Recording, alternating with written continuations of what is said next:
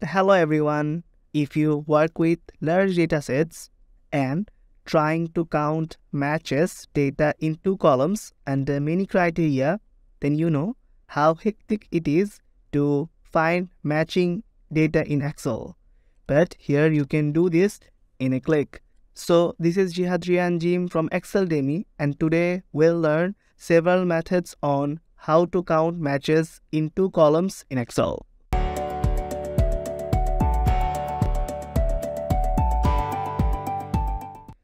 In our first case, we want to use sum product to count matches alongside into columns.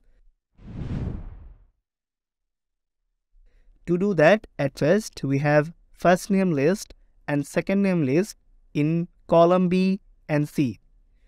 We want to find number of matches in the E5 cell. At first, we have to go to the E5 cell and then we have to write down our formula starting with the sum product. The sum product function will count and sum all the values found in the whole array. Then we will use the double hyphen also known as double unary. This portion will convert the logical values into numerical values.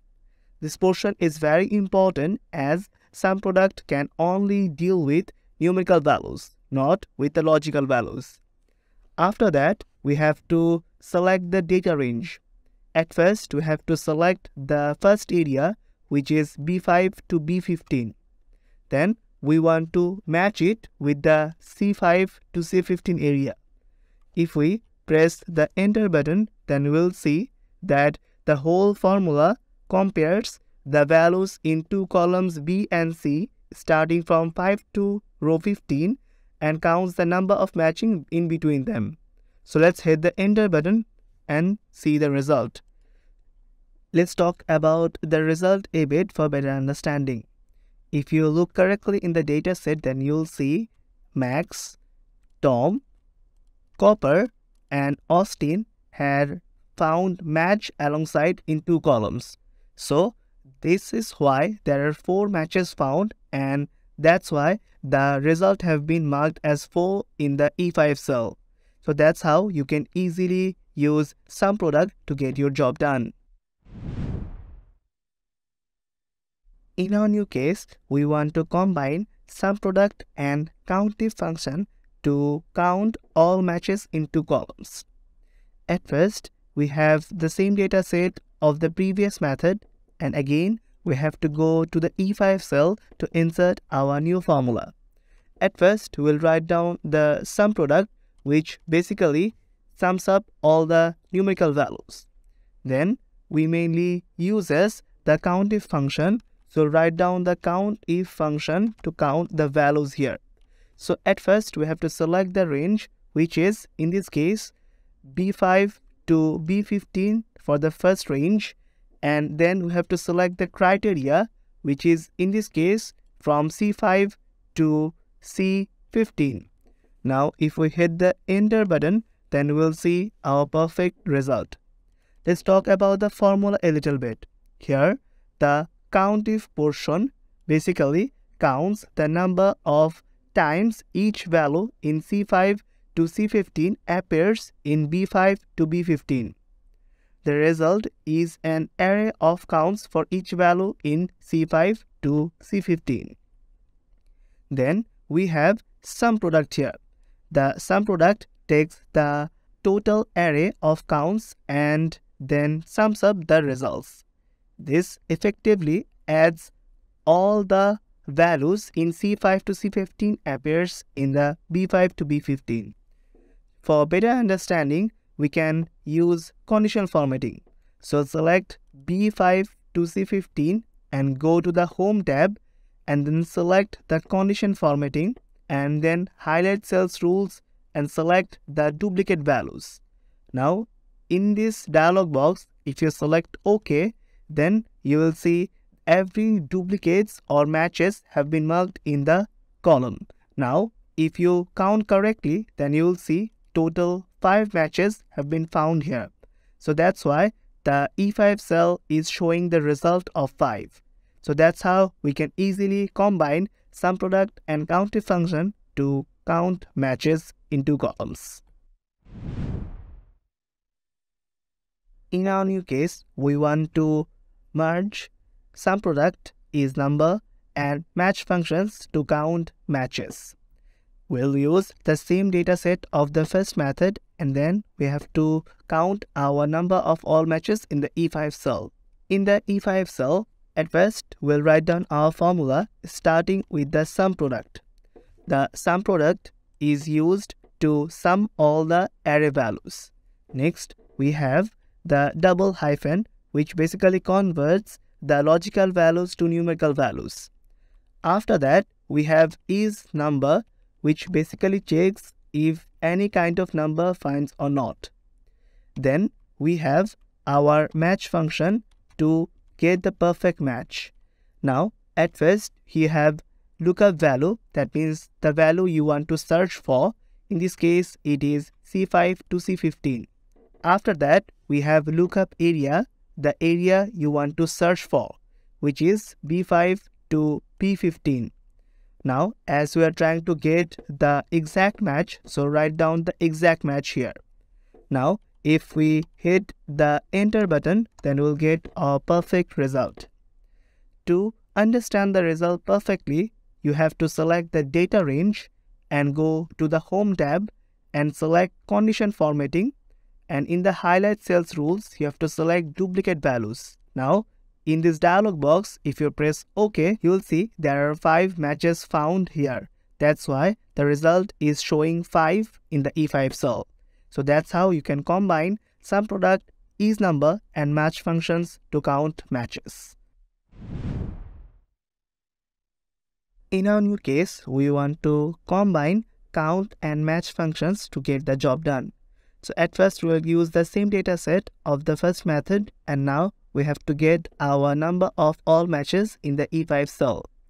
In the E5 cell, at first we'll write down our formula which starts with the count function. It basically counts the number of non-array values. Then we'll write down our next function which is the match function which basically looks up for the match. Now in this case we have our lookup value which is the value we want to search for that is C5 to C15. Next, we have lookup array. That means the area we were searching.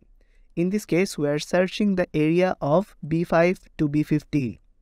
As we are trying to get the exact match, so we will select 0. Now, if we press the enter button, then we'll get our perfect result. If we talk about the formula a little bit, then we'll see the match function mainly searches for C5 within the C15 and returns the index of first matching value or an error if there is no match found. Next, we have the count function. The count function counts the number of values returned by the match function. This effectively counts the number of values in C5 to C15 that appears in B5 to B15. So, we have got our result. Now, to understand it perfectly, we'll again go to the Home tab. In the condition formatting option, select Highlight Cell Rules and select Duplicate Values.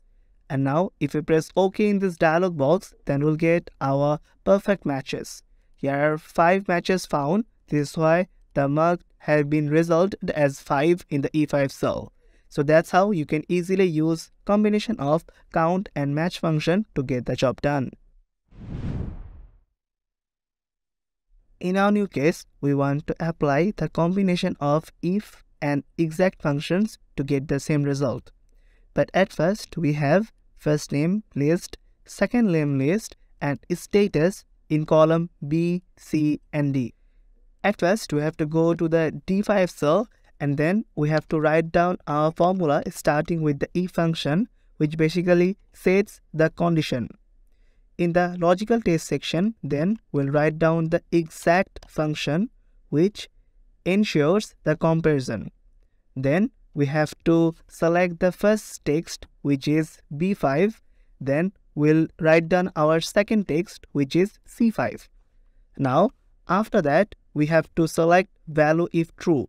That means if the condition have been fulfilled, then what will it show? It will show the common in this case. So I write down common in our double quotation. Then we have to write down value if false. In this case, if the value is false, that means the condition is not fulfilled, then it will show unique. And now hit the enter button. So we'll get our first result as it has not found the exact matches in the first two cells. Now if we select the cell and drag down to the very last cell to apply the formula to all the cells, then you will see where it has found any kind of match it has shown common but where it has found no matches it has shown the unique. Now we want to find the number of matches in the F5 cell. To do that we'll use the countif function. So in the F5 cell we'll write down the countif function which basically counts the number of cells then we have to select the range which is D5 to D15 and now we have to again select the criteria that means what you are trying to find in this case. So we'll write down the matches in this case it's marked as common.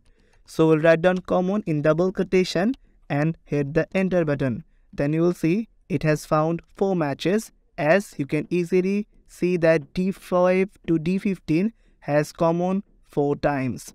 So that's how you can easily use the combination of exact and if functions to get your job done. In our new case, we want to show you how to count duplicates in two columns in Excel. To do that, at first we have first name list, second name list, count duplicates and status in column B, C, D and E. At first, we have to go to the D5 cell and enter our countif function, which basically counts the number of range and criteria we want to set. Then at first we have to set the range which is B5 to C15. Now we have to make it permanent so that it don't get changed. So I'll use F4 in the keyboard. Then we have to use the criteria which is in this case B5. And now if we hit the enter button then we'll get our result. Now drag down the formula to use it to every cell. Then you will find that the values of duplicates are more than 2 or on other hand the values of unique records are only showing as 1. Now we have to show the status also and to do that at first we have to go to the E5 cell and use the if function. Here we'll write down the if and then in the logical test you have to select the range of D5 to D15 and to make it permanent we'll again use the F4 in the keyboard. Now as the condition we have to say that this selected range must be greater than 1 and if it fulfilled the condition that means value if true then it will show the common scenario so I will write down common in the double quotation. After that in the value if false section I'll write down unique in the double quotation. So after writing everything, I'll hit the enter button. So you will see that you have got your perfectly result. Now your main target was to get the number of matches. To do that, at first you'll go to the G5 cell and then we have to write down the countif function again. And now we have to select the range. The range is in this case E5 and now we have to use the hash option. The hash option is a symbol that indicates the formula will automatically spill down to include all adjacent cells in the same column that contain the same data. Now, in the second case, we have to select the criteria, which is in this case the common. So write down common and hit the enter button. Now we'll get our perfect match in this case. So let's evaluate the formula first, then go to the E section and if you value it correctly, then you'll see you have common total 6 times. So that's why it is showing 6 in the G5 cell. So that's how we can easily get our job done. So that's it for today. You can use any of these methods accordingly or you can also download the practice book from the link below. Hope this will help you. If you have any questions, suggestions or feedback, please let us know in the comment section or you can have a glance at exceldemy.com. Thanks for watching us. If you like this video, please consider subscribing for more content like this.